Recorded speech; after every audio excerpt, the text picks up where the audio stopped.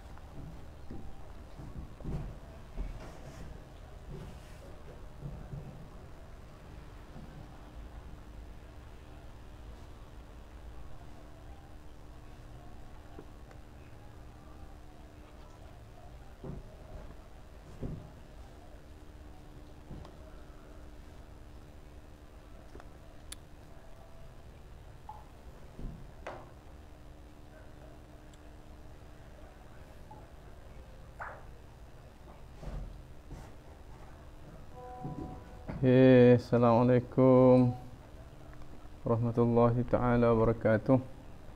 Uh, Ustazah Sandara Muhammad eh? Ahlan wa sahlan marhabikum. Abdul Hakim. Ahlan wa sahlan marhabikum. Hmm.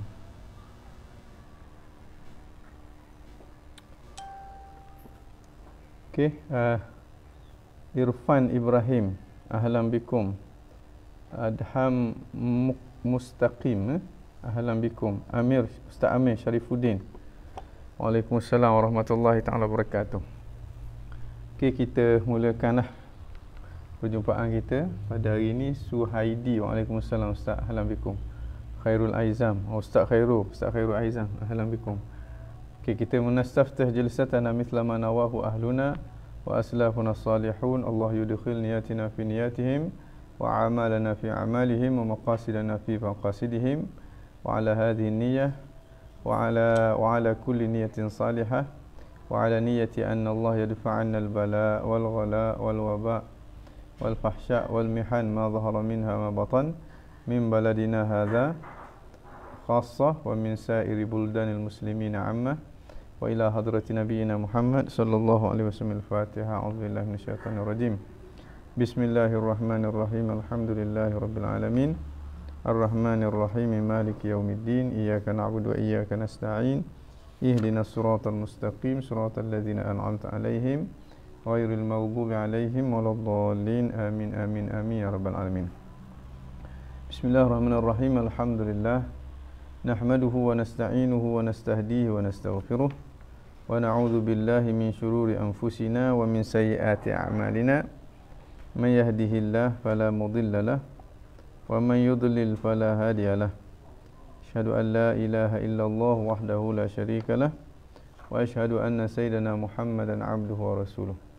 اللهم صل وسلم على سيدنا محمد الفاتح لما أغلق والخاتم لما سبق ناصر الحق بالحق والهادي إلى صراطك المستقيم وعلى آله وصحبه حق قدر حق قدره ومقدار العظيم سبحانك لا علم لنا إلا ما علمتنا إنك أنت السميع العليم وتب علينا إنك أنت التواب الرحيم أما بعد نوينا التعلم والتعليم والتذكر والتذكير والنفع والانتفاع والإفادة والاستفادة والحث على التمسك بكتاب الله وسنة رسوله والدعاء إلى الهدى والدلالة على الخير ابتغاء وجه الله مرضاته وثوابه سبحانه وتعالى Assalamualaikum warahmatullahi taala wabarakatuh.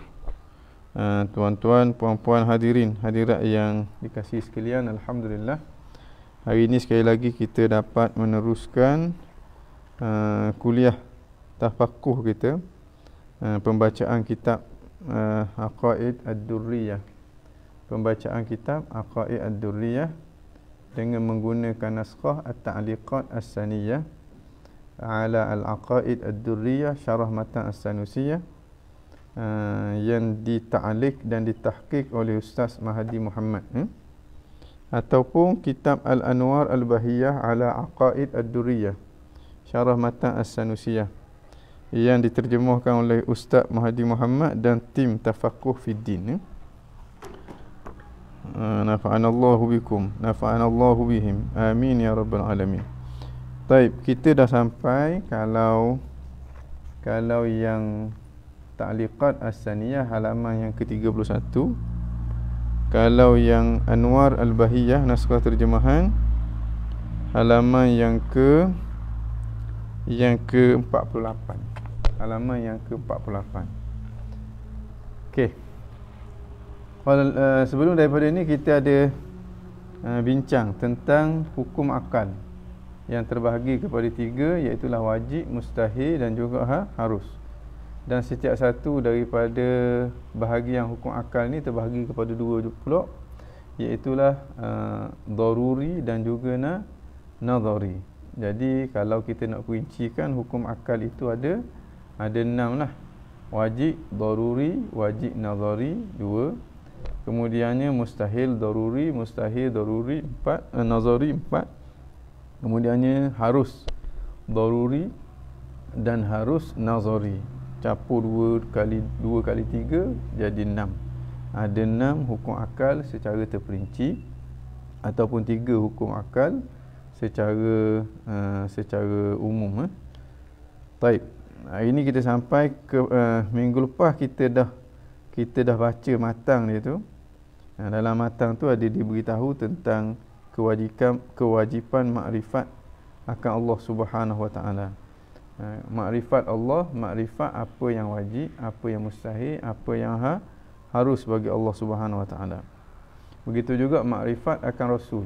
Dengan makna makrifat apa yang wajib, apa yang harus dan apa yang mus, mustahil bagi para Rasul alaihi wasallam. Ha, itu yang dimaksudkan dengan makrifat pada aqaidil iman. Makrifat pada aqaid al-iman. Akidah-akidah yang menjadi iman. Akidah-akidah iman kita. Ha?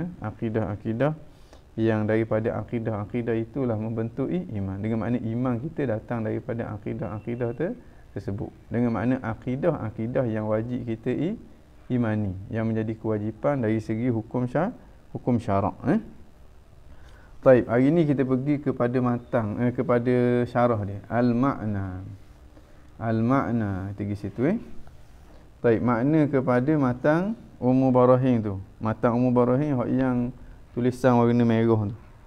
Ha, tulisan warna merah. Kalau naskah terjemah hak duduk dalam kotak tu. Ha, itu orang panggil matang umur umul barahim. Yang di luar tu adalah syarah kepada matang umul barahim yang dinamakan dengan Al-Aqaid Ad-Durriyah. Baik. Yufradu qala al-muallif rahimahullahu taala wa nafa'ana bihi bi ulumihi fid darain amin ya rabbal alamin. Yufradu wa yuhattamu. Yufradu dengan yuhattamu makna sama je. Makna difardukan dan dimestikan min jihati syar'i dari sudut syarak. Ha itu dia kata wa yajibu ala kulli mukallafin syar'an dan wajib ke atas setiap mukallaf syar'an dengan makna dari dari dari dari pihak syar syarak hmm? dari pihak syarak mana bila sebut daripada pihak syarak dengan makna kita fahamlah bahawa wajib itu adalah wajib syar'i wajib syar'i yang mana wajib syar'i itu datangnya daripada syarak bukan datangnya daripada ah, akal ini perbezaan antara kita dengan Mu'tazilah. Golongan Mu'tazilah dia kata wajib kita makrifat Allah. Kalau tak makrifat Allah maka berdosa maka jadi tak sah iman dia kata kalau tak makrifat Allah Subhanahu Wa Taala. Dan kewajipan makrifat Allah pada pandangan mereka datangnya daripada akal. Kerana pada pandangan mereka akal boleh mencapai makrifat itu sekalipun tidak ada wah wahyu. Ha, ini berbeza dengan ahli sunnah. Ahli sunnah tidak ada sesuatu yang wajib melainkan ianya diwajib oleh syarak. Ha, sebab hukumnya hukum syarak. Bila hukum syarak maka hakim yang mewajibkan hukum tadi tak dapat tidak mesti syarak. Mana kalau syarak belum datang tak ada benda pun yang wajib. Wa ma kunna mu'adzibina hatta nab'atha rasula. Kami tidak akan mengazabkan kerana eh, buat perkara yang dilarang ataupun tinggal perkara yang disuruh sehinggalah kami utuskan para rasul. Mana sebelum datangnya syarak selagi itulah tidak wajib sekalipun perkara tersebut dapat dicapai dengan akal fikiran. Di sini perbezaan antara ahli sunnah wal jamaah. Makna di situ kita dapat melihat bagaimana Mu'tazilah dia mendahulukan ah, akal fikiran. Dan dia jadikan akal itu sebagai asas dalam penentuan sesuatu hukum dan syarak itu hanya penguat ataupun yang mengiyakan apa yang diputuskan oleh ah, akal. Ini beza dari segi dari segi yang kata masdar talaqi eh, masdar talaqi di antara ahli sunnah wal jamaah dengan mu'tazilah. Ahli sunnah tak begitu. Ahli sunnah dia melihat bahawa antara akal dengan akal itu tidak berlaku pertembungan. Tetapi hukum syarak, hukum syarak ha ianya sabit melalui syarak. Hukum syarak ianya sabit melalui syarak. Dengan makna kalaulah tidak ada syarak, tidak ada keterangan daripada syarak, tidak ada satu benda pun yang wajib. Tidak ada satu benda pun yang haram. Tidak ada satu benda pun yang sunat, tidak ada satu benda pun yang ma makruh. Ha, sebab bagi kita yang penentu hukum syarak tak lain tak bukan itulah dia syarak. Syarak. Maknanya orang yang hidup sebelum daripada kedatangan perutusan baginda Nabi wasallam setelah kewafatan Nabi yang terdahulu maka orang itu dipanggil sebagai ahli fa fatrah. Ahli fatrah indana di sisi kita ahli sunnah wal jamaah minan najin mereka itu di kalangan orang-orang yang se selamat. Walaupun dia sembah berhala, walaupun dia minum arak, walaupun dia berzina, kerana apa? Kerana ha, kerana masih belum datangnya syarak menyuruh dan juga melarang. Itu beza antara kita dengan Mu'tazilah. Itu yang dikatakan uh, yufradu wa yuhattamu min jihati syara'. Makna difardukan dan dimestikan daripada sudut syarak, daripada pihak syarak. Makna kemestian dan kefarduan tu datang daripada pihak syarak, bukan datang daripada akal fi fikiran. Kefarduan, kemestian, kewajipan tu itu kewajipan syarak. Itu kewajipan syarak, eh? Bukan wajib akal tu, bukan wajib akal. Mana yajibu ala kulli mukallafin syar'an wajib di situ adalah wajib ah wajib syarak. Maknanya kalau kita tak buat kita ber, berdosa eh. Ala kulli fardin min afradil mukallafin ke atas setiap individu daripada individu-individu mukallaf. Makna ke atas setiap seorang daripada mukallaf. Selama mana dia mukallaf maka wajib. Wajib apa? Wajib dia makrifat. Siapa dia mukallaf? Wa humul balighun, mereka itu adalah al balighun. Orang yang sampai oh, sampai umur. Sampai umur dah. Al uqala yang ber yang berakal. Salimul hawas yang sejahtera dia punya panca indera dengan makna dia dia tidak pekak dan tidak tidak tuli eh? tidak tidak pekak dan tidak buta. Kalau pekak dan buta maka maklumat tak boleh nak masuk kepada dia. Makna dia seakan-akan orang yang tidak sampai kepadanya dakwah para rasul alaihi wassalam al matlub minhum ma fihi kulfah yang dituntut daripadanya sesuatu yang padanya ada kulfah apa dia sesuatu yang padanya ada kulfah itulah dia tanggungjawab syar syarak. Ha tanggungjawab syarak. Sebab ada perintah tu kan? Ada perintah ada larang. Ha, maka di situ ada kul kulfah dengan makna ada bebanan. Ha? kulfah ni maknanya bebanan taklif membebankan ha, itu makna taklif itu makna kulfah. Ha, wa masyaqqah dan juga kesu kesusahan. Ha, sebab apa dinamakan dengan mukallaf? Sebab dia dibebankan dengan tanggungjawab syarak. Ha, itu mukallaf. Ha, kerana taklif ataupun kulfah itu maknanya be, bebanan ha, sini kita kena faham molek ni. Kata-kata ulama-ulama sufi ulama sufi kata kalau kamu dah mengenal Allah dengan erti kata yang sebenarnya. Makna makrifat yang makrifat khassah bukan semata-mata makrifat ammah ini eh? Makna daripada makrifat ammah dan makrifat yang ammah yang umum dah meningkat dah kepada makrifat yang khusus dah. Ha, makna mengenal Allah dengan erti kata yang sebenar dah. Maka tak payah semayang lagi. Ha, tak payah semayang lagi itu maknanya semayang tu jadi mudah bukan semayang tu tak wajib ha, tak wajib kerana dia semayang sebab bekok kaki dia kita nak samakan dia macam ke ayah ping nak samakan dia macam ke uh, golongan batiniyah, golongan yang sesat. Ha, ini orang yang tidak ber tidak berakal. Waktu dalam bahasa Melayu. Dalam bahasa Arab pula dia kata saqata anka taklif antara ayat dia. Idza arafta Allah haqqa ma'rifatin apabila kamu kenal Allah sebenar-benar erti makrifah mana makrifah tu meningkat daripada makrifah yang ammah kepada makrifah yang khassah saqata anka at-taklif maka gugurlah taklif daripadamu kalau orang dalam hati dia penuh dengan suudzon ah dia kata ni sesat ni Ha, macam mana Nabi Muhammad sallallahu alaihi wasallam pun semayang sampai bekok kaki. Nabi Muhammad pun masih lagi wajib semayang. Tiba-tiba dia kata diri dia tak wajib semayang, kumpulan dia tak wajib semayang. Astaghfirullahalazim. Siapa yang kata gitu? Cuba tengok orang tu semayang mana kau? Orang tu semayang seiras dengan semayangnya baginda Nabi. Nabi semayang bekok kaki, dia pun semayang sampai bekok kaki. Ha, dahi dia lebuk sebab sujud kepada Allah Subhanahu Wa Taala. Dah makna apa kata-kata dia? Makna yang dia nak, bukan makna yang kita faham. Kita nak faham kerana dalam hati kita penuh dengan sifat-sifat yang mazmumah.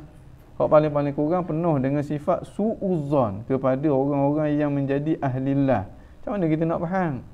Patutnya kita tarik nafas dulu. Tarik nafas panjang lepas. Tarik lepas panjang lepas. Faham betul-betul. Tengok siapa depan kita tu. Ayah ping ke ke siapa? Tengok dia semayang macam mana. Kok kaki dia semayang. Menunjukkan ada benda yang dia nak sampaikan yang kita tak sampai. Tanyalah dia. Ataupun faham dengan kefahaman yang betul. Saqata angkat taklif. Maknanya gugur daripada kamu bebanang tu. Sebab mu dah mula nampak bahawa sembahyang itu adalah suatu benda yang amat lazat. Sembahyang itu adalah suatu yang bernilai. Sembahyang itu adalah sesuatu yang amat diperlukan oleh kamu sehingga kamu sentiasa menunggu-nunggu waktu untuk nak sembahyang sebab hati kita dia dapat melihat ibadat itu eh, ibadat tu maksud dia dengan makna sembahyang tidak lagi dalam keadaan takalluf dalam keadaan kita paksa diri kita tapi dalam keadaan diri sendiri nak sembahyang tu ha, biasa saya bagi contoh kepada pelajar-pelajar saya macam orang demam eh? orang demam masa dia demam tu mak dia beli ayam KFC Mak dia paksa dia makan ayam KFC. Dia sendiri pun paksa diri dia makan ayam tu jual untuk nak jaga kesi kesihatan. Begitulah. Orang yang ada masalah dari segi ha, hati dia. Peringkat permulaan hati dia tak segar molek, hati dia berpenyakit, ibadat dia tak seronok. Dia akan rasa malah, dia akan, tapi dah iman ada tu, dia paksa diri dia. Ha, tu ada kulfah tu. Ada taklif dia tu. Sekarang bila lah dia baik dah daripada demam. Orang tadi tu baik dah daripada demam. Lidah dia mula dapat merasa, dapat mengecapi kelazatan sesuatu makanan yang namanya KFC tu. Ha, waktu tu lambat nitah depan dia habis licingnya bang. Kalau sebelum pada tu habis ten nebeng nak nak makan. Sebab apa? Sebab dia nampak dah sedap. Sebab deria rasa dia dah mula ke kembali semula. Begitulah orang apabila hati dia hidup. Dia akan nampak ibadat itu ya Allah. Kalau semayang tu dipanggil ataupun nama dia Jannatul Ajilah syurga yang disegerakan. Macam mana? Dalam keadaan dia nampak bahawa semayang tu syurga disegerakan sehingga kita nak kata dia masih ter terbebang dengan semayang dia. Tak dah. Ada dah. Ha, ini bila bila hati dia segar, bila hati dia se sehat macam orang tadi tu. Bila bila tubuh dia segar, bila tubuh dia sehat, maka dia rasa dia kembali semula pada lidah dia pada waktu tu kalau orang suruh beli pun dia beli apatah lagi kalau orang bagi free. Tak perlu paksa tak perlu benda. Ha begitulah yang dimaksudkan oleh ah, ahlillah. Dia nak faham kata-kata ahlillah dalam keadaan hati dia kotor. Macam mana dia nak faham? Ha, kemudian dia kritik lah dia kritik bawa dalil tu bawa dalil ni yang tak kena atas butir tu. Itulah yang dilakukan kepada tokoh-tokoh besar di kalangan ahli-ahli su sufi eh. A'adzanallahu min zalik. Mudah-mudahan Allah Subhanahu Wa Taala lindung kita daripada sifat kebudak-budakan itu eh. Baik. Uh, ini ada satu kumpulan seakan-akan dia samakan antara apa? Syekh Muhyiddin Ibn Arabi, Syekh Ibnul Farid, Abdul Karim Al-Jili, dia samakan macam ke lepak. Macam ke dua tiga orang lagi nama-nama golongan sesat apa benda punya gila gitu siapa dak nak beza siapa ke tahap tu eh ha. siapa tak boleh beza siapa ke tahap tu ha. sama kan di antara syekh uh, syekh uh, syekh Ibrahim Masran Al-Banjari. Uh, syekh Rahimuddin Al-Bantani. Dia sama tarah dengan lepak astagfirullahalazim apa benda punya jenis hotok lagu gini eh? apa benda jenis hotok menunjukkan berat berat sangat. Ini bila kita makan daging para ulama otak kita jadi tupu. Sehingga benda hak basic gitu pun kita tak boleh nak. Nak beza dan Allah min zalik okey hmm uh, allazi fihim ahliyatun nazar yang ada padanya keahlian untuk nazar nazar ni untuk berfikir berfikir untuk nak buat satu kepu satu kesimpulan Makna nazar dia fikir yang berfokus. Fikir untuk nak sampai kepada satu kesimpulan yang bersifat yakin ataupun bersifat zannul ghalib, zan yang kuat. Tapi sini yakin lah. Sebab dalam akidah ni zannul ghalib tidak memang tidak memadai. Wa qad balagathum da'watur rasul dan sesungguhnya telah telah sampai kepada mereka itu dakwah ar-rasul. Kalau tak sampai dia tak jadi mukallaf. Ha, dia tak jadi mukallaf macam ke ahli fatrah tadi. Rasul mana? Rasul allazi ursila ilaihim. Rasul yang diutuskan kepada dia. Ha, kalau sampai dakwah tapi dakwah rasul lain, ha, maka dia masih lagi tak tak wajib untuk nak ikut syariat nabi lain itu. Dia hanya wajib ikut syariat nabi nabi dia kecuali nabi kita Muhammad sallallahu alaihi wasallam untuk seluruh umat manusia al-arabi wal ajami kepada yang Arab ataupun kepada yang ajam. Okey apa yang difardukan ke atas mereka ini? Apa yang diwajibkan ke atas mukallaf ini? Apa dia? Ha, an ya'rifa wajib dia mak makrifat. Kalau tak makrifat hukumnya berdosa. Allah mewajibkan kita semayang. Allah mewajibkan kita makrifat. Allah mewajibkan kita semayang. Kalau kita tak semayang berdosa. Allah juga mewajibkan kita makrifat. Kalau kita tak sampai ke tahap makrifat hukumnya juga berdosa. An yajzima jazman muwafiqan lil waqi' an dalil. Makrifat ni apa? Iaitulah ha tu 10 Ustaz Mahdi bagi ta'liq bawah tu dia kata an wa ma dakhala 'alaiha fi ta'wili masdar.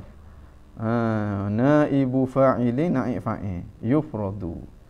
Ma dan apa yang masuk kepadanya. Ma wa ma dakhala 'alaiha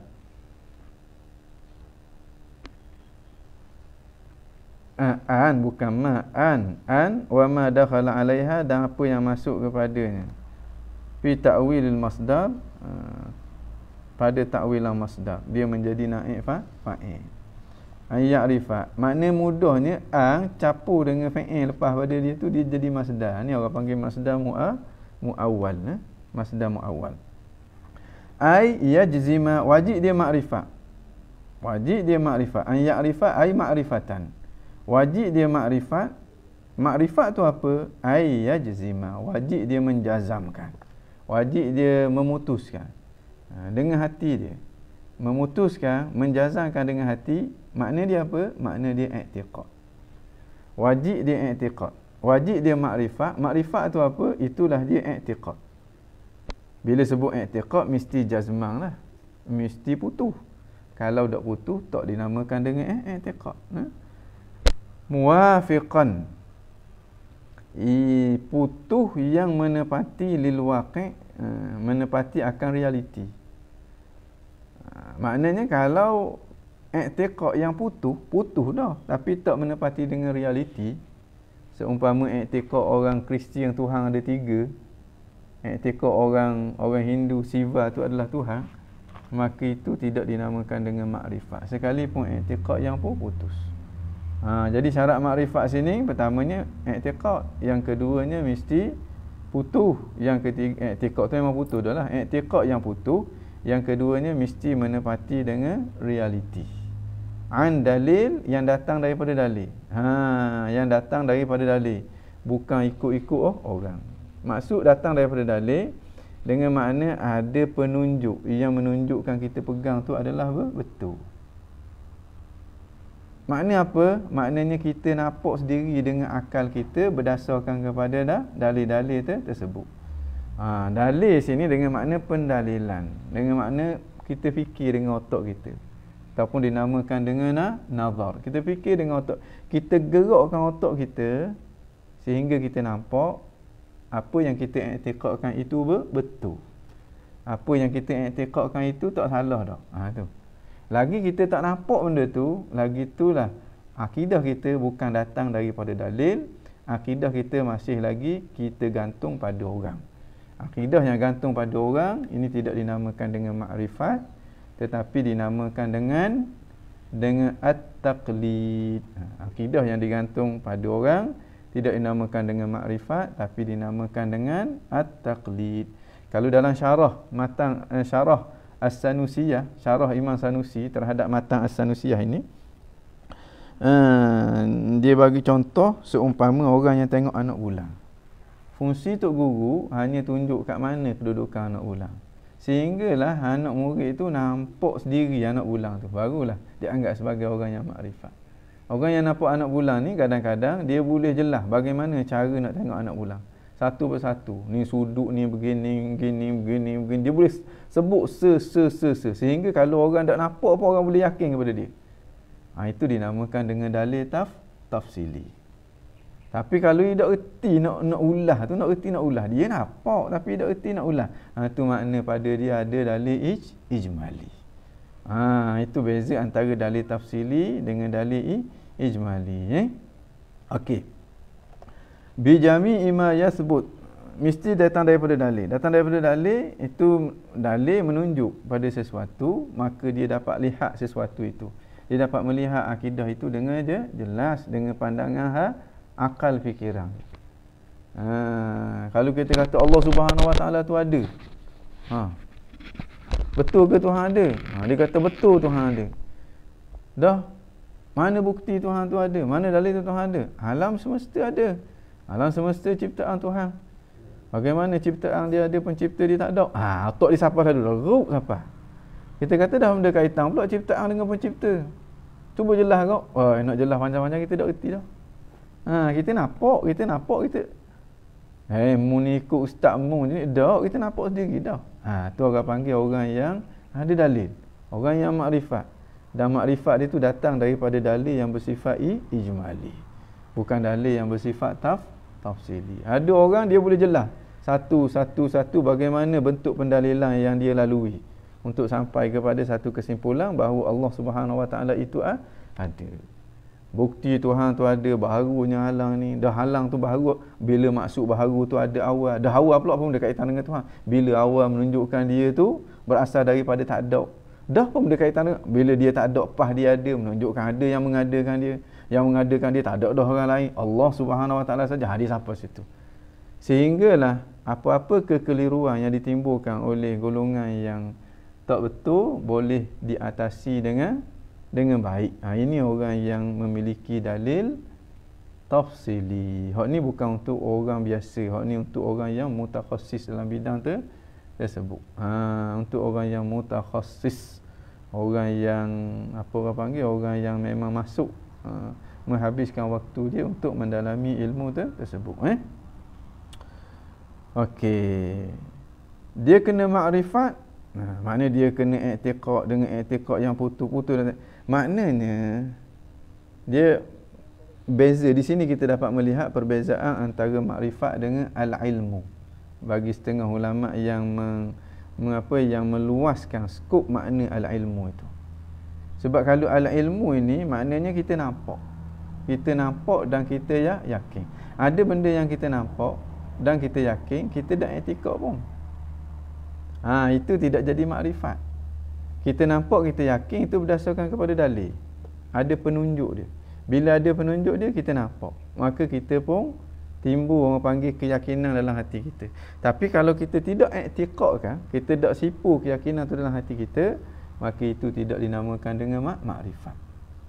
Makrifat, syarat dia mesti kena nak nampak. Ha, itu dikatakan anid dalil. Berasaskan kepada dalil. Lepas pada kita nampak, barulah kita i'tiqad. Ha, maka itu dinamakan dengan makrifat. Ha, nama dengan mak makrifat. Ha. Okey. Bijami ima yasbut li zatihi ta'ala dengan semua sifat-sifat yang sabit bagi zat Allah Subhanahu wa ta'ala. Apa dia? daripada sifat-sifat kamaliyah sifat kamaliyah sifat-sifat kesem kesempurnaan sebenarnya bila kita sebut dia tu Tuhan automatik kita akan faham dia akan bersifat dengan sifat-sifat kesempurnaan sebab bila sebut Tuhan dia berada di kemuncak kesem kesempurnaan kalau ada hak dak sempurna ada cacat awal-awal lagi dah terkeluar dia daripada lafaz Tuhan ha, mungkin dia masuk dalam lafaz hantu dia dekat sikit tu hantu selalu dah. Ha. Makna itu yang bila kita sebut apa bendanya Tuhan tu apa? Makna dia mustaghniyan an kulli ma siwa muftaqiran ilahi kullu ma'adah nanti Imam Sanusi akan cerita belakang tu. Makna kalau kita sampai ke tahap tu bila orang sebut Tuhan kita akan nampak dia akan bersifat dengan sifat-sifat kesempurnaan. Macam ke bila orang sebut turun, kita akan nampak ke bawah. Kita tak akan nampak ke ke atas lagi. Mana kalau yang tak cukup dengan sifat-sifat itu, maka tidak dinamakan dengan tu Tuhan sama sekali. Makna lah ke atas tidak akan dinamakan turun sama sekali. Kalau ke atas tak dinamakan turun sama sekali. Ha, biar kita nampak gitu, barulah kefahaman kita tu kefahaman yang lu yang lurus. Ha, tidak dicemari oleh kekotoran, ragu-ragu dan juga syok. Tak, eh? Makna kefahaman yang lurus, kefahaman yang jelas. Hak ni akidah kita nak. Akidah kita biar jelas. Sekalipun perbincangan, perbicaraan tentang akidah tu meleret-leret itu bab lain. Hak tu penjelasan tentang akidah. Tapi akidah tu sendiri yang duduk pada kita kena jelas. Kalau tak jelas, ha, itu bermasalah. Mana kita kena usaha seberapa yang kita mampu ketika mana Allah bagi umur kepada kita untuk kita nampak sungguh-sungguh akidah yang kita pegang. Pastikan mula-mula akidah yang kita pegang tu akidah ahli sunnah wal jemaah. Syairah Maturidi ataupun yang sama dengan Syairah Maturidi. Yang kedua ni kalau kita tak nampak kita kena belajar sungguh-sungguh sampai ke peringkat kita nampak. Dan sebenarnya usul akidah ni tak payah untuk kita nak nampak. Nak tahu 20 sifat tu untuk sampai ke tahap makrifat 20 sifat tu bukan suatu benda yang apa? Payah. Matematik tambah payah lagi.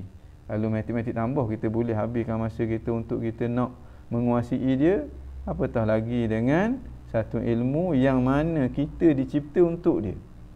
Kita dicipta untuk ilmu dan untuk eh, ibadat kepada Allah Subhanahu Wa Taala. Ilmu antara ilmu yang kita kena uh, kena apa? Kena kuasai kerana kita dicipta untuk tu iaitu ilmu nak kenal Allah Subhanahu Wa Taala. Sebab tak mungkin kita nak beribadat kepada Allah kalau kita tak kenal Allah ataupun kita tersalah faham tentang ah, Allah kemuncaknya ibadat kita uh, tak akan tak akan sampai kepada Allah. Mungkin ibadat kita sampai kepada tok pekong yang kita create sendiri dalam dalam otak kita. Okey. Uh, Okey. Okey, nak nampak macam ada soalan eh. Ismail Arifin lepak dan Ustaz Wahizam. Sebenarnya Ustaz Wahizang tu uh, bukan ustaz eh bukan ustaz pun bukan ustaz pun hmm. okey mana ada nampak soalan tadi Assalamualaikum Ibnu Arabi dua hak mana maksud ustaz ni ha. Ibnu Arabi satu Ibnu Arabi uh, orang kata imam dalam mazhab Maliki ini Ibnul Arabi Hak ni anak murid kepada Imam Al-Ghazali. Hak ni tak ada masalah. Tak ada masalah apa. Ha, dia diketengahkan sebagai seorang tokoh yang menjadi ikutan. Ada satu lagi Ibnu Arabi Al-Hatimi. Ibnu Arabi Al-Hatimi. Hak ni yang kontroversi. Yang kontroversi di antara orang yang buruk sangka kepada dia dengan orang yang husnuzan kepada dia. Ha, kebanyakan ahli-ahli tasawuf mengetengahkan Ibnu Arabi ini sebagai seorang tokoh yang hebat. Seorang tokoh wali yang besar, bukan orang biasa-biasa eh. Ha, tapi sebahagian daripada ulama mengkritik Ibnu Arabi ini atas dasar uh, ada kata-kata dalam karya-karya dia yang dilihat bercanggah dengan dengan akidah ahli sunnah wal wal jamaah. Jadi kalaulah kita nak ambil jalan selamat, hmm. Sekarang ulama-ulama yang puji dia, yang menganggap dia sebagai seorang tokoh yang hebat, ramai bukan sikit. Dan ulama-ulama yang kritik dia pun ada juga. Ha, ramai juga bukan kata sikit. Jadi ada dua pandangan. Satu pandangan yang yang mengkritik dia, satu pandangan yang memuji dia. Kalaulah kita sama-sama turut mengeji dia, para ulama tu dia berijtihad. Dan ada tujuan-tujuan tertentu. Mungkin dia nak jaga orang dan sebagainya. Ha, mungkin dia berhadapan dengan golongan yang tersalah faham daripada, kata-kata Imam Muhyiddin Ibn Arabi itu sehingga jadi sesak jadi nak betulkan keadaan. Jadi ada ada ihtimalnya. Hmm, ada orang panggil uh, ada uh, apa? Ada alasannya. Pas kita orang awam yang kenal pondok. Ibn Arabi itu siapa tiba-tiba kita nak naik petah juga. Nak naik petah juga untuk kita nak kata sedap-sedap kepada dia sampai ke peringkat setengahnya mengkafirkan dia dan sebagainya. Ini sebenarnya amat-amat membahayakan kita. Kita kena guna prinsip husnuzan lebih baik uh, daripada suuzan seribu orang uh, kita salah husnuzan tak ada siapa pun. Tapi seorang je kalau kita salah suuzan dah berdosa dah lebih-lebih lagi kalau orang tu dari segi realitinya orang yang betul-betul dekat dengan ah, Allah Subhanahu wa taala.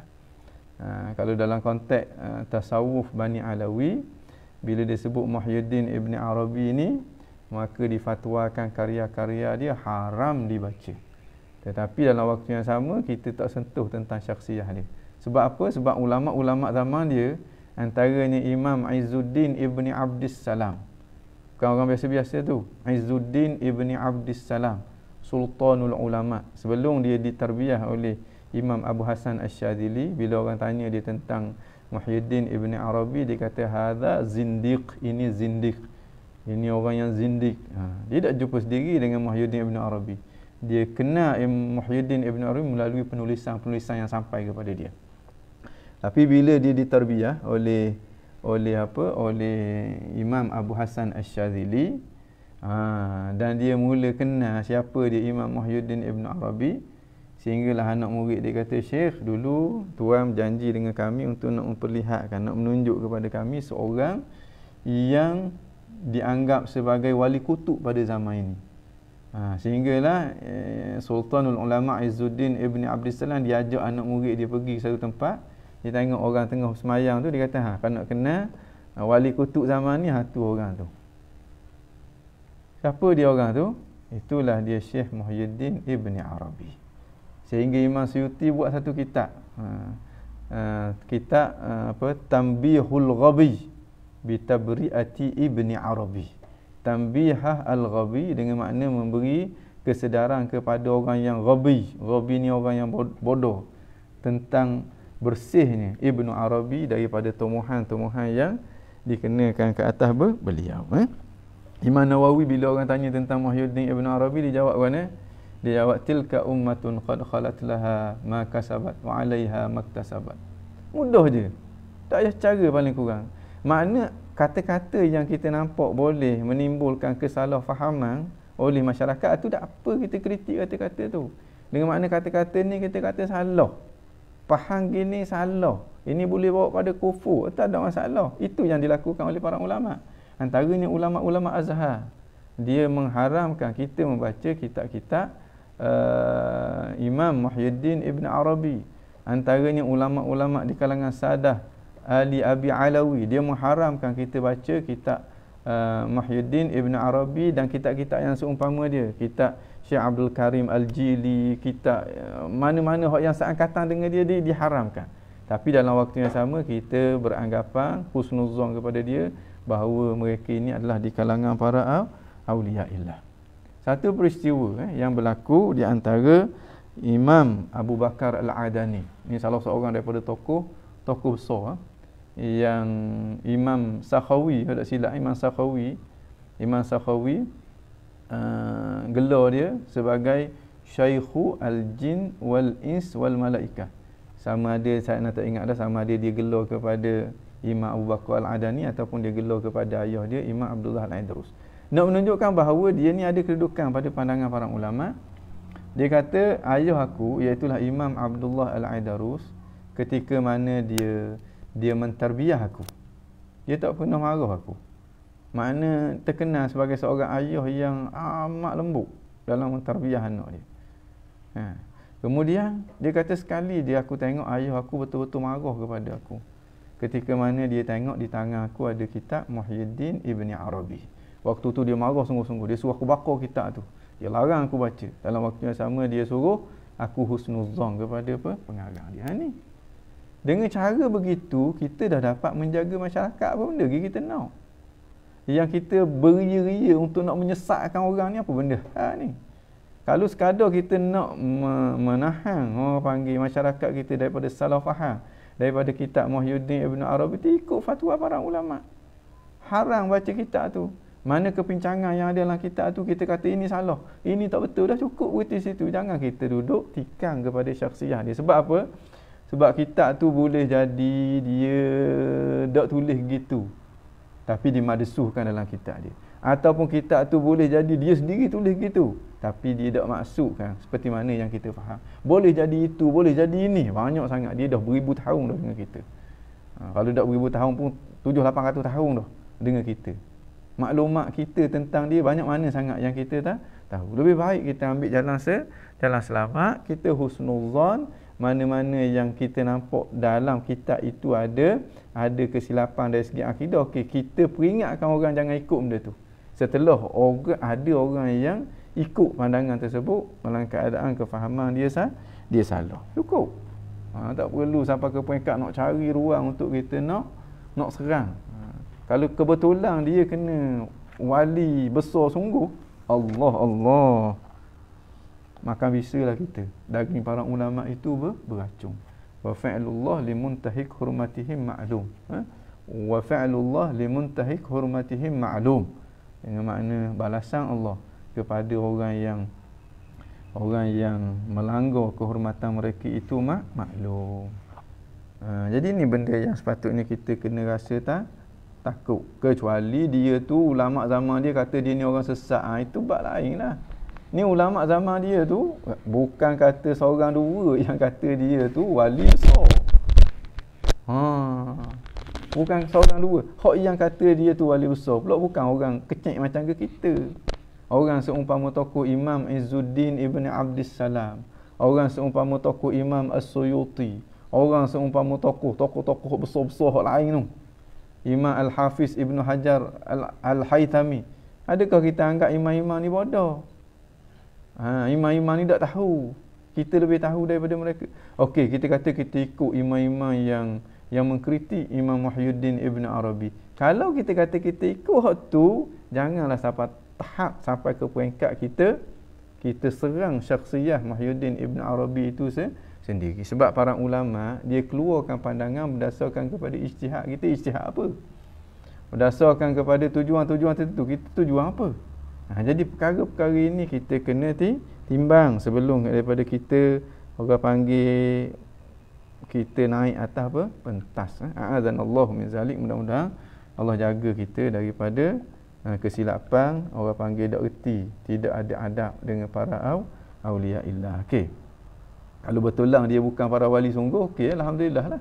Kalau betul lah dia para wali dak keselok kita dalam keadaan ada dah ulama yang menyedarkan kita tentang kedudukan dia Taib wama wama yastahilu alaihi dan sifat-sifat yang mustahil ke atas dia minan naqais daripada sifat-sifat kekurangan. Wama yajuzu dan apa yang harus an yasbuta sabit pada zat Allah Subhanahu wa taala. Apa yang harus ha? sabit pada zat Allah Subhanahu wa taala. Okey lakinnal maula subhanahu akan tetapi maula tuan Tuang siapa? Tuang kita lah. Maula ada alik elang tu makna maulana lah tu. Makna tuang kita. Allah tu tuang kita. Tuang kita dengan makna pemilik kita. Pengurus tadbir kita. Pencipta kita. Ha, tu makna tuang kita. Ada seorang ulama di Al-Azhar dulu. Dia ni seorang ulama yang siqah. Seorang ulama yang siqah. Warang. Satu hari dia jalan depan masjid Al-Azhar dalam keadaan nacak. Orang tanya buat apa saya pelik ni. Macam gemarok jalan ni? Ha, Dia kata mu tak rasa gembira ke? Kata gembira benda pula. Allah subhanahu wa ta'ala tu Tuhan kita. Balillahi maulakum. Allah tu Tuhan kita. Tak rasa gembira ke? Dia kata aku gembira sangat-sangat. Setelah aku mendengar bahawa Allah Subhanahu Wa Taala tuang kepada aku. Sehingga hilang kewarasan dia. Ha, ini orang kata anugerah-anugerah yang Allah campur dalam hati-hati orang yang bersih yang layak untuk nak menerima anugerah daripada ah, Allah Subhanahu Wa Taala. Mudah-mudahan kita pun dapat rasa begitu. Sehingga kita rasa beruntung sangat-sangat bila Tuhan kata, aku ni adalah tu tuang kepada kamu dan juga benda-benda lain, eh.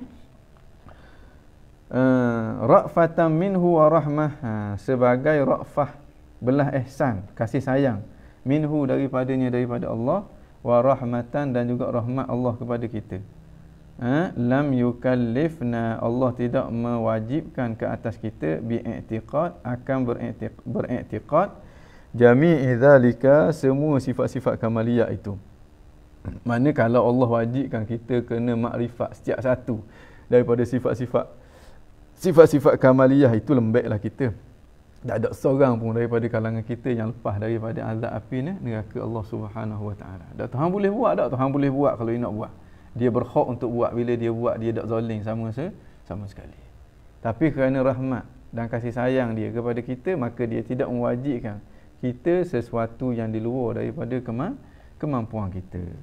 Hak tu orang panggil anugerah daripada ah, Allah. Bukan Allah terpaksa buat begitu dan bukan kita berhak mendapatkan perkara ter tersebut eh Uh, li'annaha dan kerana sesungguhnya sifat-sifat kamaliyah Allah itu la tuhsa tidak terhingga. Ni akidah kita.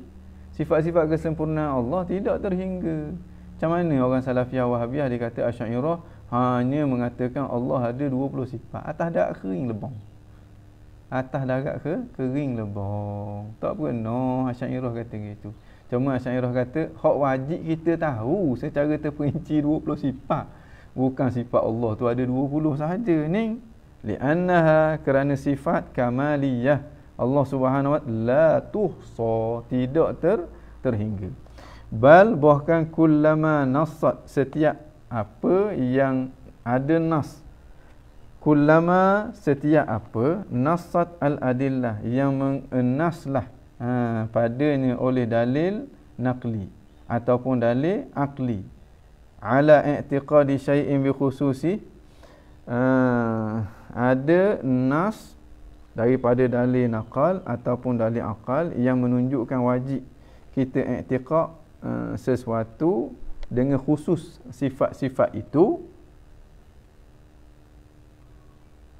Kasifatil ishrin seperti sifat yang 20 tu setiap satu sifat tu ada nas yang khusus ada orang panggil ada dalil yang khusus. Sama ada dalil akal ataupun dalil na naqal bal nasat uh, kallafana. Maka Allah Subhanahu wa taala mentaklifkan kita. Bi'tiqadiha beriktiqad akan dia mufassalatan secara terperinci. Maknanya Allah mentaklifkan kita iktiqad secara terperinci pada sifat-sifat yang ada dalil yang menunjukkan kepadanya secara terperinci. Mana-mana dalil yang tidak ditunjuk, oh, mana-mana sifat yang tidak ditunjuk oleh dalil secara terperinci, maka kita tak diwajibkan makrifat eh, sifat tersebut secara terper, terperinci. Ini semata-mata rahmat dan belah ihsan daripada Allah. Makna anugerah daripada Allah. Kasih sayang daripada Allah. Tuhan boleh tak nak mewajibkan kita makrifat akan semua sifat-sifat kesempurnaan dia. Sama ada yang ada dalil ataupun yang tak ada dalil. Boleh tak ada masalah apa. Dia berhak buat apa yang dia nak nak buat. Tapi dia tak buat gitu. Dia tak buat gitu adakah dia terpaksa tak buat gitu? Tak. Dia tak terpaksa. Dia tak buat gitu semata-mata dengan kehendak dia dan semata-mata uh, berasaskan kepada kasih sayang dia dan juga rahmat dia kepada kita eh?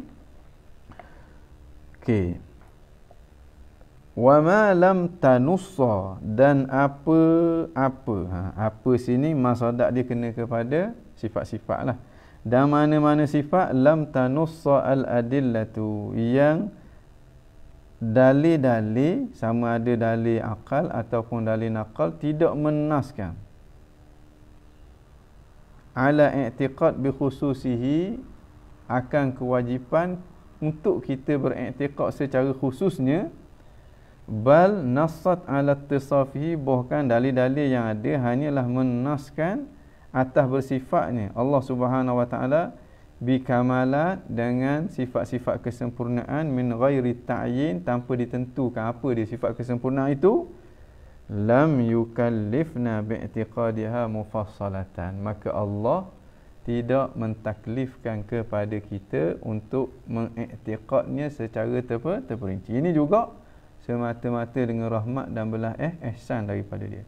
Bal na'rifuha bahkan hak na'rifuha kita tahu dia kita kenal dia kama hiya sebagaimana dia secara umum. Ha, min ghairi ta'yin tanpa sebarang ketentuan tanpa ditentukan. Ha, secara khusus pada sifat-sifat tertentu. Kesimpulan dia apa yang ada dalil yang menunjuk bersifatnya Allah Subhanahu Wa Taala. Dengan sifat tadi secara terperinci secara khusus satu persatu maka wajib kita kena tahu satu persatu. Kita kena makrifat satu persatu manakala yang tidak ada dalil tidak ada nas tidak ada dalil yang menunjukkan ha? yang menaskan. Tidak ada dalil yang menaskan. Sama ada dalil akal ataupun dalil dalil naqal ha? menaskan dengan makna yang menunjukkan. Dengan jelas sampai ke peringkat qat'i itu makna nas. Ha? tidak ada dalil yang menunjukkan dengan jelas bahawa itu adalah sifat bagi Allah Subhanahu Wa Taala secara khusus. Maka kita tak diwajibkan eh i'tiqad dengannya sama se sama sekali. Ini orang panggil rahmat rafatan wa rahmatan minhu tabaraka wa taala yang menuntut kita supaya mensyukuri nikmat. Nikmat tu makna kalaulah Tuhan memfardukan kita gitu go Allah Allah dak dan kerja buatlah kita ni Padang duk hitung sifat-sifat Allah Subhanahu Wa Taala. Tu pun hak boleh hitung, hak tak boleh hitung banyak mana. Ha, nikmat Allah pun kita dah nak hitung dah. Apatah lagi dengan dengan sifat-sifat kesempurnaan Allah Subhanahu Wa Taala yang berada di luar daripada kemampuan akal fikiran kita untuk nak tahu. Yang berada di luar daripada apa yang disebut di dalam Al-Quran dan juga ah, As-Sunnah. Bagaimana kita nak tahu? Allah Allah. Dan Tuhan boleh buat kalau dia nak buat, boleh buat. Dah zalim ke Tuhan? Tak zalim. Sebab apa? Sebab dia buat uh, sebab apa dia tak zalim? Sebab segala-galanya itu adalah milik dia. Dia boleh buat apa yang dia nak buat pada mi pada milik dia. Okey. Habis. Fa yajibu alaina i'tiqadu maka wajib ke atas kita beriktikad annahu ta'ala bahawa sungguhnya Allah Subhanahu wa taala muttasifun dia bersifat bi kamalat dengan sifat-sifat kesempurnaan. La nihayata laha yang tidak ada kesudahan baginya. Jangan jangan duk tanyalah dah berapa? Makna kalau dia tanya berapa menunjukkan dia mengiktikad bahawa sifat Tuhan tu masih lagi ada ada ada orang kata penghujung. Yang tak ada penghujung dah guna Allahu a'lam dak dang kita nak nak mikir tentang Tuhan Tuhan tak suruh kita fikir tentang Tuhan Tuhan suruh kita fikir tentang makhluk dia untuk kita melihat dia tak sama dengan makhluk dia. Wa kullama okay. Wa illam na'rif khususa kulli wahidin minha sekalipun kita tak dapat tahu secara khusus setiap satu daripada si sifat-sifat ini. Sebab apa? Sebab tidak ada dalil. Wa kullama nassatil adillatu ala tanazzuhihi an sifat dan setiap apa? Hmm? Kullama setiap apa yang dalil-dalil menaskan menaskan maha sucinya Allah Subhanahu wa taala daripada sesuatu sifat itu secara khususnya kal ishrina sifatan seperti 20 sifat adad al ishrin al atiyah lawang kepada 20 sifat yang akan datang ini kullifna maka kita ditaklifkan bi'tiqadihi beriktiqad tanazzuhihi Maha sucinya, maha suci Allah anha daripadanya mufassalatan secara terperinci. Sebab apa? Sebab ada dalil yang menunjuk secara qat'i bahawa Allah maha suci daripada sifat-sifat tersebut secara khusus. Maknanya kalau tidak ada dalil yang menunjukkan Allah maha suci daripada bersifat dengan sifat-sifat tersebut secara khusus, maka kita hanya wajib makrifat secara umum. Tak wajib makrifat secara khusus satu satu satu macam ke sifat 20 itu yang wajib kita kena i'tiqad. Dan 20 sifat lawan kepada sifat 20 itu yang wajib kita kena sucikan ha, sifat-sifat tersebut daripada ha, Allah Subhanahu wa taala. Okey wa kullama nasatil adillah ala tanazzuhihi anha min ghairi ta'yin kullifna bi'tiqadiha kadzalika. Dan setiap apa? Dengan makna setiap sifat. Yang dalil-dalil. Sama ada dalil akal ataupun naqal menaskan. Makna menunjukkan. Dengan tunjukkan yang bersifat qata tunjukkan yang bersifat yakin. Ala tanazzuhi anha ha, menunjukkan kepada maha sucinya. Ni Allah Subhanahu wa taala daripadanya. Daripada sifat-sifat kekurangan tadi. Min ghairi ta'yin tanpa ditentukan secara khusus sifat apa benda. Kullifna maka kita ditaklifkan. Makna kita diwajibkan bi'tiqadiha kadzalika i'tiqad akan dia begitu juga. Makna bukan secara detail bukan secara khusus terperinci tapi hanya secara umum. Sebab bila dia beritahu secara umum wajib kita kena i'tiqad secara umum. Bila dia beritahu secara terperinci wajib kita kita i'tiqad secara terper, terperinci. Ini kewajipan yang wajib ke atas kita dalam dalam skop makrifat akan ah, Allah Subhanahu wa taala. Okey fayajibu maka wajib i'tiqad anna hunaka bahawa sungguhnya di sana naqaisa ada sifat-sifat kekurangan. Naqais jamak kepada naqisah ha? makna sifat-sifat keku kekurangan. La nihayata laha yang tidak ada kesudahan laha baginya. Yajibu yang wajib. Wajib sini wajib akal.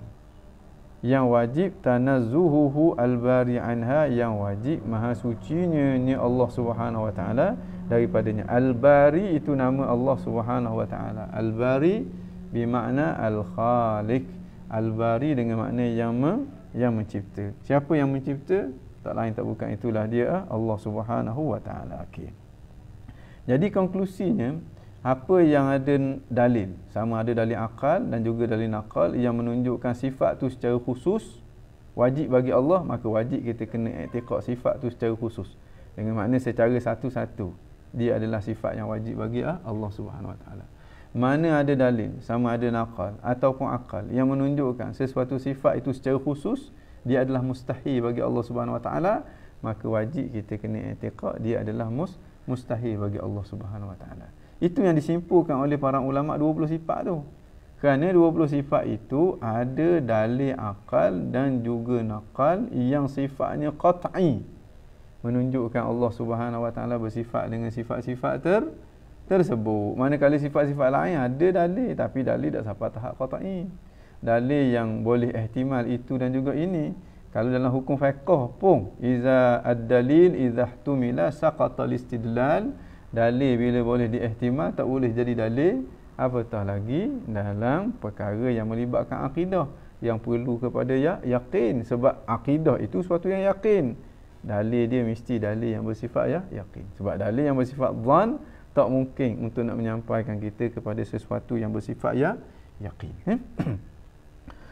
Taib. Ha, ini ijtihad para ulama. Ini ijtihad para para ulama. Tubik 20 si sifat. Ijtihad al-Asy'ariyah Maturidiyah. Asatin min al-ulama. Maknanya orang panggil uh, tokoh-tokoh besar di kalangan para ulama, di kalangan golongan muhaqqiqin eh? Dia berijtihad dan dia dapati hak yang wajib kita kena tahu 20 si 20 sifat. Maknanya sekurang-kurangnya ha, kalau kita ikut ijtihad para ulama tak sesat dah kita ni.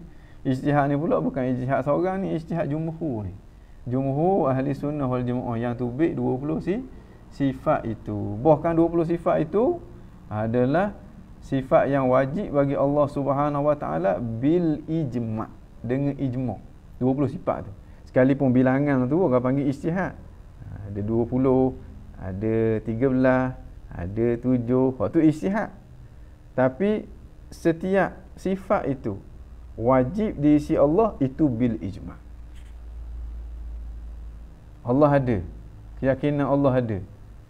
Ha, kalau orang kata Allah tak ada kapi situ tulis lalu dah. Allah sedia.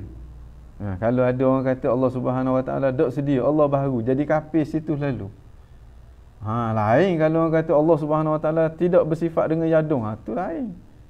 Allah Subhanahu Wa Taala tidak ber, tidak bersemayam di atas arah, ha, itu bab lain. Tapi hak ni Allah Subhanahu Wa Taala baharu. Baharu mana benda? Baharu mana ada awal. Bahasa mu kata gitu. Kafir terus cakap gitu. Azan Allahu min. Ha. Allah Subhanahu Wa Taala tak sama dengan makhluk. Tiba-tiba ada orang kata, "Dak, Allah sama dengan makhluk." Ha. Boleh kafir terus orang cakap gitu. Allah Subhanahu Wa Taala tidak bersifat dengan wahdaniyah. Allah tu berbilang-bilang. Kafir terus. Allah tu lemah, tidak berkuasa. Kafir. Allah tidak berkehendak. Astaghfirullahaladzim. Ini maknanya sesuatu yang diijmukkan oleh seluruh para ulama. Ha? Seluruh para para ulama. Ha, jadi kan itu sifat 20 ini menjadi satu pendekatan yang diterima pakai oleh jumhur ahli sunnah wal wal jamaah. Okey, andai kata kalau orang kata tak saya nak guna alternatif lain, tak nak guna alternatif pendekatan sifat 20. Kita kata okey, fadal tak ada masalah. Tapi setiap akidah dan sifat 20 tu jangan pertikaikan. Nak guna pendekatan uluhiyah, rububiyah, asma itu halau masing-masing. Tapi orang kata akidah yang ada dalam sifat 20 tu kalau kita engkar imma jadi kafir, imma jadi fa fasik eh a'adzanallahu min zalik. Mudah-mudahan Allah Subhanahu wa taala uh, lindung kita daripada uh, orang kata keburukan-keburukan ter tersebut. Okey. Mana dah? Ha, habis itu. Habis wa mithlu ma taqaddama jami'uhu dan yang seumpama apa yang telah lalu semuanya itu. Apa dia? Apa yang wajib, apa yang harus, apa yang mustahil yuqalu dikatakan juga fi haqqir rusul alaihi wassalatu wassalam. Pada hak para rasul alaihi wassalam dengan makna pada diri para rasul alaihi wassalam. Makna diri para rasul yang dibicarakan dalam ilmu akidah dari sudut mana? dari sudut apa yang wajib, apa yang harus dan apa yang mustahil bagi para rasul. Bukan diri para rasul dari sudut okey struktur tubuh badan para rasul tu tak dibahas dalam ilmu ah, akidah. Atau dalam ilmu ilmu biologi tu. Ha, bukan ilmu akidah pun. Ilmu akidah dia bahas ha, diri para rasul dari sudut mana? Dari sudut apa yang wajib, apa yang harus dan apa yang mustahil bagi dia. Eh? Untuk dijadikan sebagai ah, akidah ke ah, keagamaan sebab akidah itu dinyatakan dalam al-Quran dan dinyatakan dalam su sunnah baginda nak Nabi sallallahu alaihi wa ala alihi wa sahbihi wa baraka wasallam. Okey. Fayajibu maka wajiblah i'tiqad kita beriktikad. I'tiqad ni dengan makna kita sipu dalam hati kita dengan simpulan akidah, simpulan keimanan. Kadang-kadang kita tengok benda tu, kita nampak benda tu, kita dah i'tiqad. Maka itu tak jadi iman. Dalam ilmu akidah ni mula-mula kita kena nampak nak nampak fungsi dalil situ. Fungsi dalil, fungsi berfikir. Ha, bila kita nampak ha, kemudian diikuti dengan i'tiqad, diikuti dengan ikat. Ha, tu baru orang panggil iman. Ikat tu makna kita memperbenarkan. Zaman zaman Nabi dulu, orang-orang Yahudi, dia tahu Nabi tu betul. Nabi tu adalah Nabi dia tahu. Tapi dia tak i'tiqad, maka dia bukan orang yang beriman. Dia orang kafir. Ha, sehingga Sayyidina Abdullah Abdullah bin Salam ha, dia kata innana la na'rifu Muhammadan kama na'rifu abna ana. Ha? Kami kenal Muhammad itu seperti mana kami kenal anak kami. Dengan makna kami tak ragu.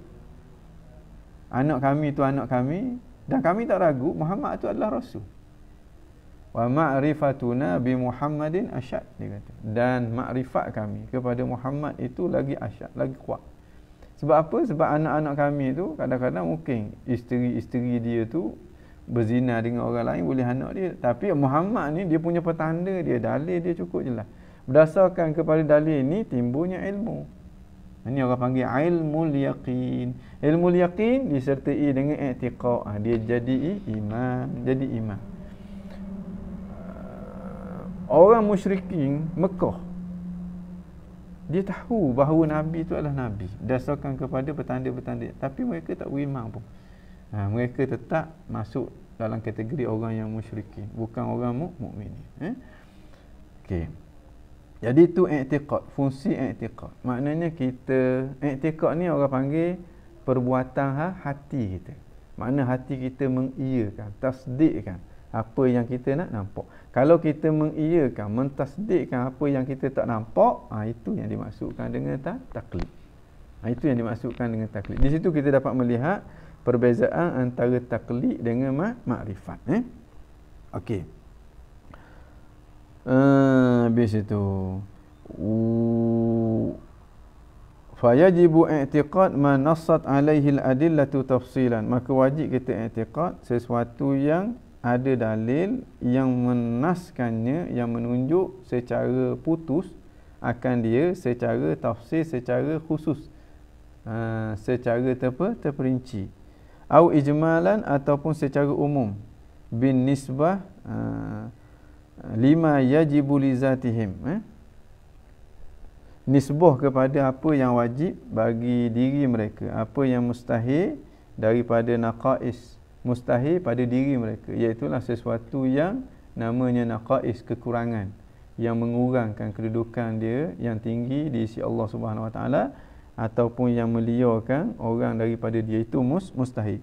Wa ma yajuzu fi haqqihim dan apa yang harus pada diri mereka itu wa sayatil kalamu ala zalik dan nanti akan datanglah perbicaraan tentang itu apabila Imam As-Sanusi membicarakan tentang ha tentang kena kenabian. Dia mulakan perbincangan dengan ketuhanan dan diikuti dengan kenabian kemudian didatangkan pendalilan kemudian disudahi kan disudahi dengan perbincangan tentang kalimat tauhid yang mengandungi akan akidah-akidah ketuhanan dan juga kena kenabian itu. Cukup sistematik ya susunan penulisan dia. Ha cukup sistematik penulisan. Kerana itulah Ummul Barahin ni glamour siapa keleni daripada dia disusun oleh Imam As-Sanusi sampai ke sekarang dia antara kitab akidah yang paling top 10 yang diajar di seluruh dunia eh, dunia Islam. Maknanya kalau orang belajar akidah tak kenal umur barahin, itu ada masalah. Lah. Ha, mungkin dia belajar ikut ikut pemikiran Syiah ataupun belajar ikut pemikiran Salafiyah Wahabiyah mungkin. Tapi kalau ahli sunnah wal jemaah bukan kata orang Asy'ariyah Maturidiyah, Hambaliyah pun kena matang umur barah Barahin ini eh? Okey. Abi wa mimma taqaddam daripada apa yang terlepas min ta'rifil mukallafin daripada definisi mukallaf. Bahawa sesungguhnya mereka itu mukallaf humul balighun. Mereka adalah orang-orang yang baligh. Baligh ni dah dia punya uh, jisim dia, jasad dia dah sem sempurna. Dengan makna uh, jasad dia dah sempurna. Tu makna apa? Bali orang panggil sampai oh umur adalah beberapa petanda yang menunjukkan seseorang tu sampai umur yang dibahaskan dalam kitab-kitab eh? Fiqh. Antaranya keluar air mani antaranya keluar hik bagi orang perempuan antaranya keluar bulu-bulu antaranya cukup umur 15 tahun dan sebagainya eh. al-uqala yang berakal. Dulu saya pernah sebut dah yang berakal sini dengan makna yang boleh berfikir. Siapa boleh berfikir? Bila ada asas untuk berfikir dalam otak dia. Apa asas untuk berfikir tu? Tak lain tak bukan itulah dia ilmu daruri yang menjadi asas untuk kita sampai kepada ilmu yang bersifat na nazari. Mana dia boleh tahu dah. Ayah lebih tua daripada anak. Kalau kita kata ayah lebih muda daripada anak, dia tak terima. Dia mengaruk gini. Bila sebut turun mesti ke bawah. Bila turun naik ke atas, dia tak nak terima gitu. Ha, ini makna orang yang dah berakal. Makna bila dia berakal, sampai umur berakal dan syarat-syarat mukallaf yang lain ada pada dia maka dia jadi mukallaf. Seorang yang dipertanggungjawabkan dengan bebanan syarak eh. Uh, salimul hawas ini yang ketiga syarat syarat mukallaf eh? yang sempurna panca indera dengan makna uh, sampai maklumat kepada dia sama ada melalui mata ataupun melalui te, telinga. Mana kalau telinga tak berfungsi, mata tak berfungsi, maklumat tak boleh sampai, dia bukan mukallaf, dia masuk dalam kategori bukan orang yang salimul hawas. Al-matlub minhum ma fihi kulfah yang dituntut daripadanya sesuatu yang padanya pada apa yang dituntut itu kulfah ada berbana. Allazi fihim ahliyatun nazar yang mempunyai keahlian untuk nazar, untuk berfikir. Mana kalau dia tidak berakal, dia tak mampu untuk nak nazar dia tidak berakal dia tak mampu boleh nazar menunjukkan akal dia ber, berfungsi waqad balagathum da'watu rusulihim sungguhnya telah sampai kepada mereka dakwah rasul yang diutuskan kepada mereka ha, ini antaranya juga adalah salimu al-hawas eh? taklam maka kamu dapat tahulah bila kamu kamu apa hmm, bila kamu kenal siapa itu mukallaf maka kamu dapat tahulah eh? Mukallaf inilah yang wajib kenal Allah mukallaf inilah yang ada dosa ada pahala mukallaf inilah yang ada kufur ada iman ha, yang bukan mukallaf ada dosa ada pahala orang gila dia selamat di akhirat bila-bila budak kecil mati dia akan selamat di akhirat bila-bila ini berdasarkan kepada pandangan jumhur ahli sunnah wal wal jamaah. Okey. Kamu dapat tahu apa yang kita dapat tahu daripada definisi mukallaf ini? Anna ahlal fatrati bahawa sungguhnya ahli fatrah itu mereka bukan mukallaf. Sebab dah cukup syarat. Sebab tak sampai kepada mereka dakwah para para rasul yang diutuskan kepada mereka. Jadi kerana dia ni bukan mukallaf, maka dia najun, dia ni akan selamat min azabin nar daripada api ni api neraka antara ahli fatrahnya ialah mak ayah baginda na, Nabi sallallahu alaihi wa ala alihi wa sahbihi wa baraka wasallam ha, sebab apa kita kata ahli fatrah ini selamat daripada api neraka? Sebab dia bukan mukallaf. Dan sebab apa pula mukal, bukan mukallaf itu selamat daripada api neraka? Sebab Tuhan yang kabur gitu. Tuhan kabur mana? Tuhan kabur dalam ayat wa ma kunna mu'adzibina hatta nab'atha rasula. Kami tidak akan mengazabkan seseorang ataupun sesuatu kaum dengan azab dengan api neraka lah hatta nab'atha rasula sehinggalah kami mengutuskan para rasul. Dengan makna rasul dah diutuskan kepada mereka. Mereka dengar dah penjelasan daripada rasul. Kemudian mereka engkar juga haning baru akan dikenakan ah, azab oleh Allah Subhanahu Wa Taala. Dah mak ayah Nabi mak Nabi, ayah Nabi wafat ketika mana Nabi dalam kandungan. Nabi Ibrahim dah dang beribu tahun sebelum daripada tu. Nabi Ismail pun dah dang. Masa bila nak sampai dakwah kepada dia ni? Mak Nabi pula meninggal ketika mana umur Nabi 6 tahun. Ha. Masa bila nak sampai dakwah Nabi kepada dia ni? sehingga nak nak kata dia tu ahli neraka azan Allah min zalik ini orang yang biadab dengan baginda Nabi SAW kalau orang biasa pun kita tak sebut mak ayah dia kafir kita tak sebut mak ayah dia tu ahli neraka kita tak sebut begitu sepatutnya dengan baginda Nabi SAW lagilah kita tak tak sebut ha, lagilah kita tak tak sebut. Paling-paling kurang kalau betul gitu sungguh pun kita senyap aje senyap aje sampai dak cakap ni siap ambil mikrofon ni duk cerita. Ha, masuk dalam YouTube duk cerita. Mak ayah Nabi ahli ni neraka. Tu kalau sungguh gitu pun apatah lagi kalau tak sungguh gitu? Jumhur ahli sunnah wal jamaah kata mak ayah Nabi ahli fatrah dan dia selamat daripada api neraka berdasarkan kepada keterangan yang qat'iyatus subut wa qat'iyatud dalalah. Keterangan yang qat'iyatus subut sabit dia tu secara mutawatir. Makna dalalah dia tu dalalah yang qat'iyah. Bahawa Tuhan tidak akan mengazabkan eh, orang. Sehinggalah Allah mengutuskan para rasul. Jelas makna dia.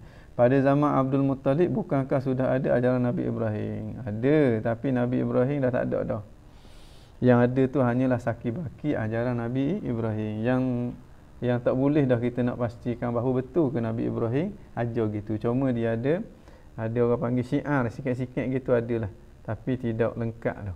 Ha. Sehingga orang orang orang musyrikin sebahagiannya tawaf. Tawaf tu syiar Nabi Ibrahim. Tapi tawaflah kadang telanjang memang sah Nabi Ibrahim dah dah ajar sama se sama sekali eh. Hmm. Kemudian Nabi zaman dulu diutuskan untuk orang yang hidup pada zaman dia je. Ha, lepas pada tu Nabi lain pula. Kalau tak ada Nabi, orang yang hidup antara fatrah, antara rasul tu tu dinamakan dengan ahli fatrah jumhur ahli sunnah wal jamaah ahli fatrah najun mereka itu se selamat eh? mereka itu se selamat sama telah lagi kalau kita tengok mak ayah nabi ada syair-syair menunjukkan bahawa dia beriman kepada Allah Subhanahu wa taala Ha, sama telah lagi gitu. Ada pula dalil-dalil daripada hadis baginda nabi ataupun ayat Quran sendiri yang memberi isyarat bahawa mak ayah nabi ataupun keturunan nabi itu keturunan yang beriman kepada Allah Subhanahu wa taala. Lebih-lebih lagi. Walaupun ayatnya bukan qat'iyatud dalalah tapi boleh diihtimalkan. Ha, sehingga kita nak kata mak ayah dia tu kan kafir azan Allah min zalim ini tak ada beradab dengan baginda nah, nabi. Sayyidatina Aminah ketika mana dia nak wafat dinukilkan oleh Al-Hafiz uh, Imam Abu Nuaim Al-Asbahani dalam Dalail An-Nubuwah. Ketika mana nak dia nak wafat dia tengok kepada Nabi, Nabi duduk dekat dekat kaki dia. Dia kata apa? Dia kata satu kata-kata dia diungkapkan kata-kata yang menunjukkan bahawa dia tak pernah restu pun penyembahan berhala yang ada di semenanjung tanah ah, Arab pada waktu itu. Dia kata barakallahu fika min ghulami. Ya ibnal ladzi ya ibnal ladzi min haumatil himami. Uh, naja uh, naja bi'aunil malikil min ami hmm. barakallahu fika min gulami mudah-mudahan Allah memberkatimu wahai anak. Dia kata uh, ya ibnal ladzi min haumatil himami wahai seorang anak kepada seseorang yang daripada kematian naja selamat. Bi'aunil malikil min'ami dengan pertolongan Tuhan yang maha maha pemberi maha penganugerah. Uh, wa fudiya ghadat ad-darbi bisihami yang ditebus setelah di apa setelah diundi dengan menggunakan anak panah bimi'atin min iblis sawami dengan seratus ekor unta yang yang jinak. Ha, kemudian dia kata lau sahhama absartu fil amami. Jika benar apa yang aku tengok dalam dalam mimpi aku dan memang benarlah. Ha, nak khabar bahawa dia ya yakin apa yang dia tengok dalam mimpi dia. Lau sahhama absartu fil manami anta mab'uthun ilal anami. Engkaulah rasul yang akan diutuskan kepada umat manu, manusia. Macam manalah keadaan dia yakin bahawa nabi itu rasul ha, sehingga dia nak kufur kepada baginda Nabi SAW tapi waktu tu nabi masih lagi belum menjadi nabi. Uh, tub'asu uh, anta law sahha ma absartu fil manami anta mab'uthun ila al anami tub'asu bil bil bil bil bil halli wa bil harami. Bil hilli wa bil harami. Kamu diutuskan membawa halal dan juga haram. Tub'atsu uh, uh, tub'atsu bil hilli wa bil harami. Engkau diutuskan dengan membawa sesuatu yang halal dan sesuatu yang haram. Wa tub'atsu bitakhfif wal islami. Engkau diutuskan dengan membawa keringanan. Jika nak dibandingkan dengan syariat-syariat yang terdahulu. Wal islami dan bawa agama Islam. Dia kata uh, law sahha ma absartu fil manami fa anta mab'uthun ila al anami tub'asu bil bil hill wa bil harami tub'athu bit takhfif fi wal islami din abi kalbarri ibrahami iaitulah agama yang pernah dibawa oleh moyangmu yang namanya Ibrahim. Ha, lepas tu dia kata fallahu yamna'uka anil asnami pasti Allah akan menjaga kamu daripada berhala-berhala itu. Ha, an an uh, wallahu fallahu ya, yamna'uka 'anil asna an tuwaliyaha ma'al aqwami. Di mana kamu akan mempertuangkan berhala-berhala itu sebagaimana kaum secara jelas menunjukkan bahawa Sayyidina Aminah dia tak pernah restu pun ha, tentang orang kata agama penyembahan berhala yang yang dilakukan oleh kaum dia. Sehingga dia kata Allah pasti akan menghalangmu daripada mempertuangkan. Uh, seperti mana uh, kaum mempertuangkan kepada ber, berhala-berhala itu. Uh, kemudian okay, sekali dia kata uh, uh, uh, ni ada. Siapa? Ahmad Muaz uh, Muhammad Izzham uh, Fatahullah alaika. Jazakumullah khairal jazak. Uh, dia letak syair Sayyidatina Ami Aminah barakallahu fika baraka baraka fika Allahu min ghulami ya ibn alladhi min hawmatil himami naja bi'aunil malikil min ami fudi ghadat ad-darbi bis-sihami bi mi'atin min iblis sawami ha, in sahha ma absartu fil manami fa anta mab'uthun ila al-anami min 'indi dzil jalali wal ikrami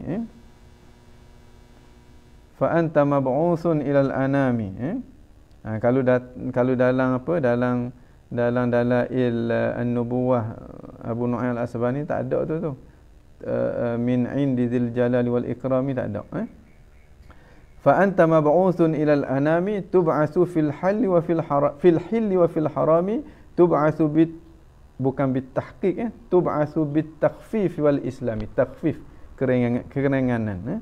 din abi kalbarri ibrahimi fallahu yanhaka fallahu yanhaka anil asnami. Maka Allah pasti akan menghalang kamu daripada berhala-berhala itu. Antuwaliyaha. Bukan alla tuwaliha antuwaliyaha ma'al aqwami.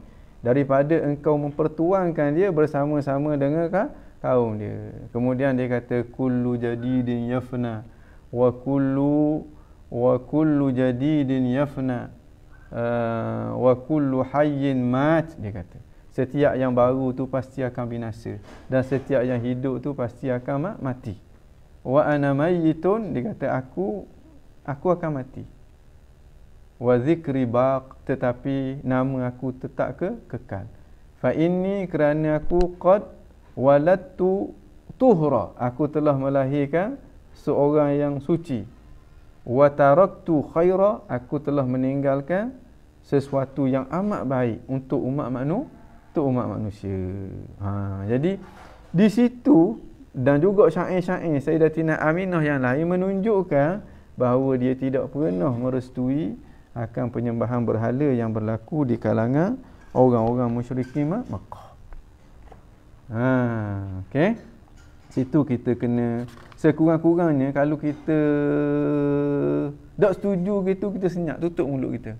Beradab dengan baginda Rasulullah sallallahu alaihi wasallam. Sekurang-kurangnya eh.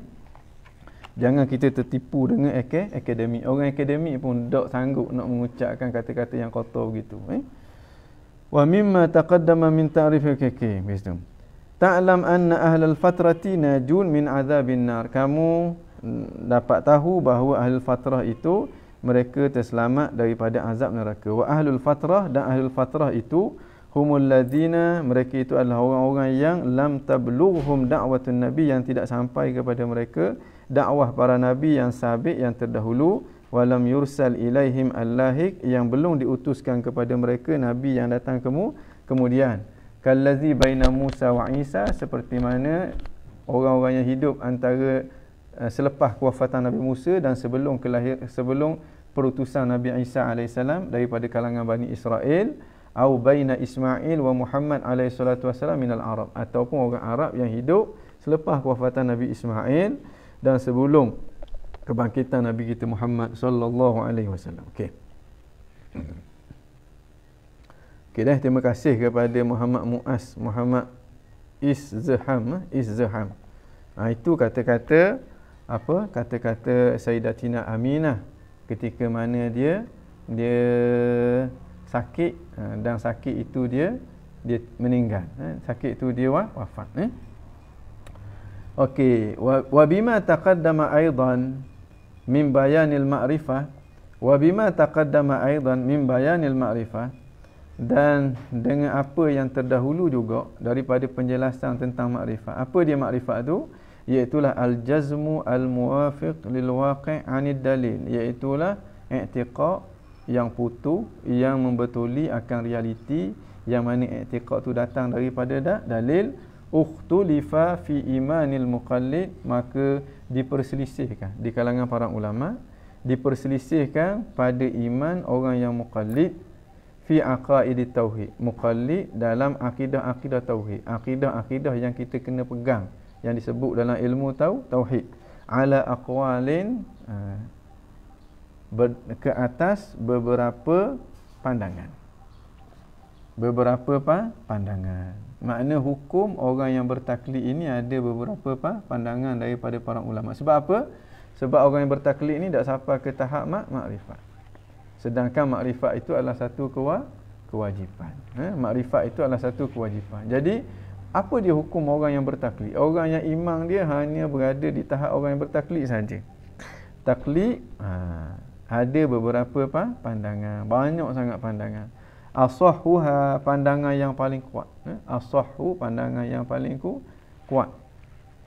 Annahu mu'min asin bahawa sesungguhnya orang yang bertaklid itu dia mukmin dengan makna iman dia telah telah sah. Maknanya kalau dia mati dia tak akan kekal dalam api neraka.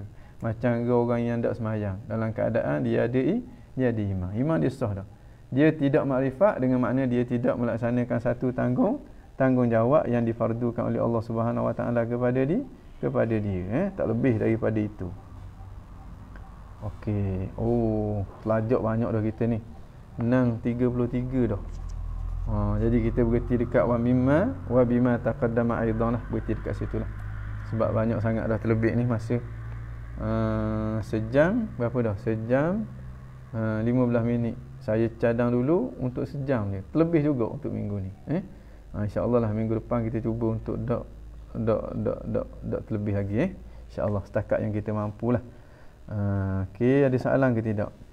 Masa zaman Abdul Muttalib sudahkah ada ajaran Nabi Ibrahim? Betul, ada ajaran Nabi Ibrahim tapi Nabi Ibrahim telah meninggal. Dengan meninggalnya Nabi yang diutuskan, maka ha, orang yang hidup pada zaman tu jadi ahli fatrah sehinggalah ha, sehinggalah datangnya Nabi yang ber, yang berikut. Okey, tak ada rasanya soalan ni. Ha, ada soalan. Okey. Okey sekalinya terima kasihlah kepada yang hadir hari ini. Mudah-mudahan apa yang kita bincang hari ini ada manfaat dia, ada kefahaman dia yang dapat mendekatkan kita kepada Allah dan mendekatkan kita kepada Rasulullah sallallahu alaihi wasallam dan kita boleh uh, kita boleh uh, kita boleh perbetulkan akidah kita kalau salah uh, dan kita boleh letak diri kita pada jalanan jumhur ahli sunnah wal wal jamaah. Sebab kita nak menghadap Allah bila-bila dengan akidah ni, dengan akidah jumhur ahli sunnah wal wal jamaah. Ha? Uh, Okey. Jadi rasanya setakat tu kita kita baca selawat tiga kali masing-masing. Uh, kemudian kita sama-samalah berusaha untuk kita berselawat kepada Nabi jangan kurang daripada 300 kali sehari. Kita usahalah sama-sama. Lebih-lebih lagi dalam keadaan kita ni, dalam keadaan musibah, dalam keadaan Covid ni, kita amat-amat perlu kepada berselawat kepada keberkatan yang ada pada selawat kepada baginda Nabi sallallahu alaihi wasallam. Inna Allah wa malaikatahu yusalluna 'alan nabi يا أيها الذين آمنوا صلوا عليه وسلموا تسليما. اللهم صل أفضل صلاة على أسعد مخلوقاتك سيدنا محمد وعلى آله وصحبه وسلم عدد معلوم. معلوماتك ومداد كلماتك كلما ذكرك الذاكرون وغفل عن ذكرك وذكر الغافلون. اللهم صل أفضل صلاة على أسعد مخلوقاتك سيدنا محمد وعلى آله وصحبه. سلم عدد معلوماتك ومداد كلماتك كلما ذكرك الذاكرون وغفل عن ذكرك وذكر الغافلون.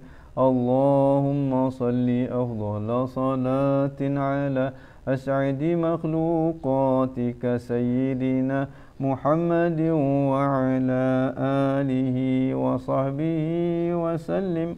عدد معلوماتك ومداد كلماتك كلما ذكرك الذاكرون وغفل عن ذكرك وذكره الغافلون.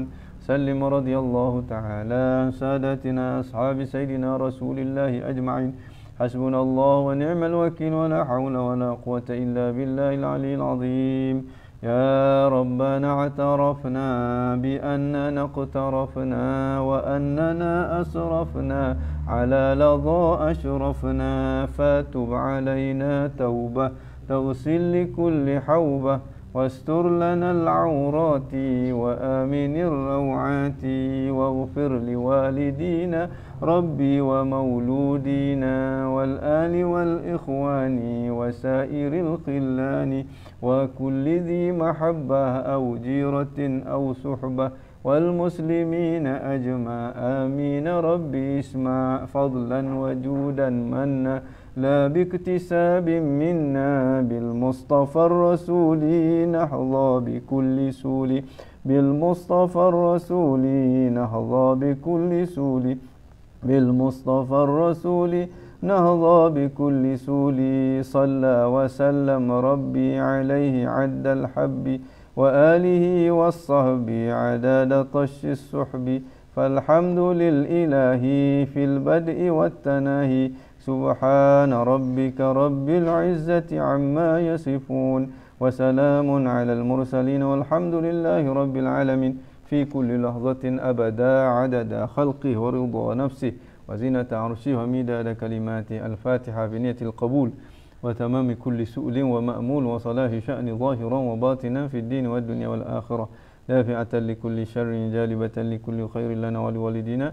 وعلى نية أن الله يدفع عنا البلاء والغلاء والوباء والفحشاء والمحن ما ظهر منها وما بطن من بلادنا هذا خاصة من سائر بلدان المسلمين عامة برحمتك يا أرحم الراحمين وصلى الله على سيدنا محمد وعلى آله وصحبه وسلم وارزقنا كمال المتابعة له ظاهرا وباطنا في عافية وسلامة برحمتك يا أرحم الراحمين الحمد لله رب العالمين الفاتحة أعوذ بالله من الشيطان الرجيم بسم الله الرحمن الرحيم الحمد لله رب العالمين الرحمن الرحيم مالك يوم الدين إياك نعبد وإياك نستعين الصراط المستقيم صراط الذين أنعمت عليهم غير المغضوب عليهم ولا الضالين آمين آمين, يا رب العالمين كي kita tutup majlis kita dengan tasbih kafarah dan surah Al-Asr.